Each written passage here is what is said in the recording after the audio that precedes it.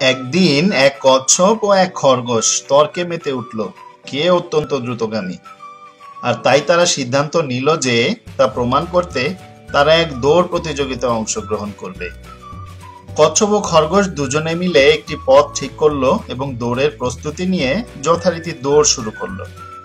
খরগোশ অত্যন্ত দ্রুত গতিতে এগিয়ে গেল এবং যখন দেখল যে সে কচ্ছপের তুলনায় অনেক অনেক এগিয়ে আছে, তখন সিদ্ধান্ত নিল কিছু সময়ের জন্য বিশ্রাম নেওয়া যাক।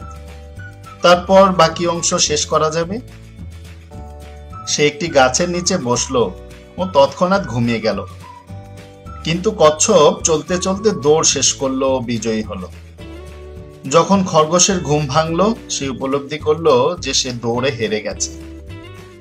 গল্পের মৌলিক বিষয় হলো, ধীর ও অবিচল ব্যক্তি প্রতিযোগিতায় জিতে যায়। আসলে এই গল্পটা শুনেই আমরা ছোট থেকে বড় হয়েছি।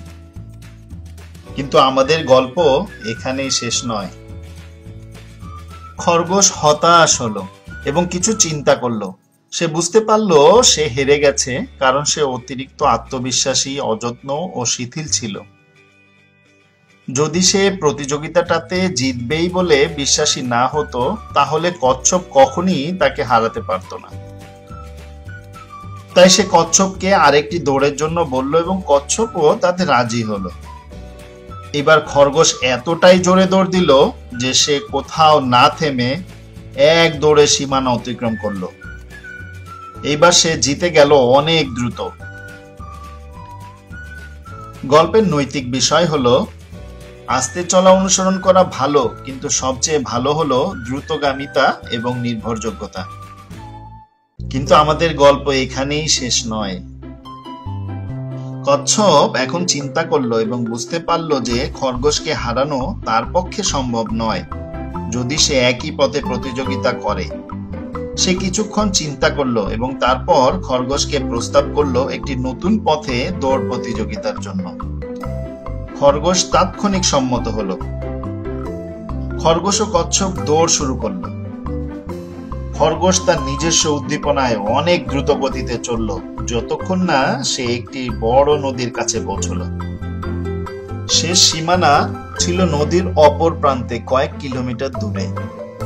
খরগোশ সেখানে বসে চিন্তা করতে লাগল, এখন কি করা যায়?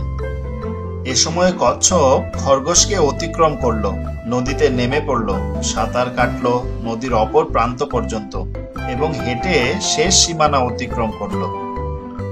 গল্পের নৈতিক বিষয় হল, প্রথমে তোমার নিজস্ব দক্ষতাকে শনাক্ত করো এবং তারপর খেলার পথ নির্ধারণ করো, যাতে করে তা তোমার পারদর্শিতা দিয়ে তুমি নিজেই জয় করতে পারো।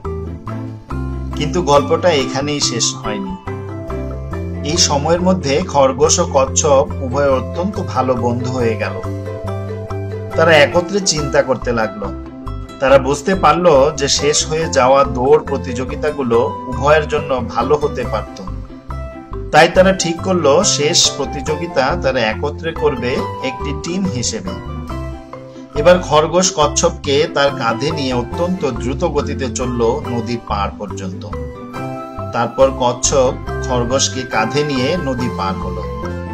অতপর নদীর ওপার প্রান্তের পথটুকু খরগোশ কচ্ছপকে কাঁধে নিয়ে শেষ সীমানা অতিক্রম করল একই সাথে। উভয়েই পূর্বের চেয়ে অনেক বেশি সন্তুষ্ট হলো এবার। গল্পের নৈতিক বিষয়।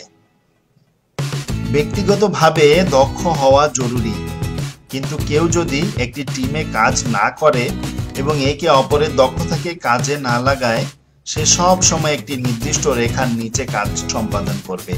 কেননা, জীবনে এমন অনেক অবস্থা আসবে যেখানে সে খারাপ করবে এবং অন্যকেও ভালো করবে ও সহযোগিতার মাধ্যমে তারা কাজটি সুন্দরভাবে সম্পাদন করতে পারবে।